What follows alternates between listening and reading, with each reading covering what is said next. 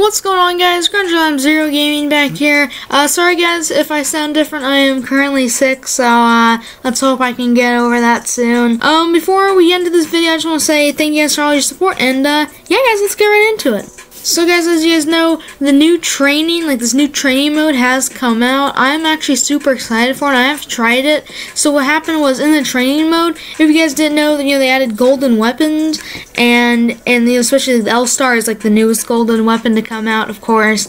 And what they did is they added those weapons into the training mode. So instead of having to learn to use like these limited power gold weapons, you know, like the Mastiff ammo, you know, Kraber ammo, L-Star ammo, you know, you can only use that, you know, so much before it runs out permanently.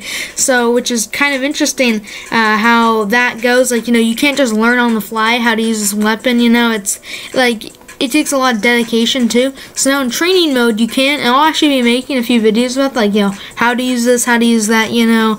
I uh, hope you guys enjoy that. Uh, definitely go check it out. It is uh, the very first column you guys come out. It's to the right of the new light ammo. Uh, it has the L-Star, the Kraber, and the Mastiff. It doesn't contain golden weapons, so you know, like the golden uh, flatline, R99, things like that. So they don't have those golden weapons there. They don't even have chokes. I hope they do bring like chokes into that game, like that would actually kind of interesting. I think that's the next thing for them is to bring in the um, add-ons into the game, which or the training mode, which would be very interesting thank you guys so much for watching this video. I hope you guys enjoyed this brief video. I just wanted to, you know, get it out there and tell everybody because not many people use the training mode anymore. And I was just in it just for curiosity after we had that huge update, you know, what changed.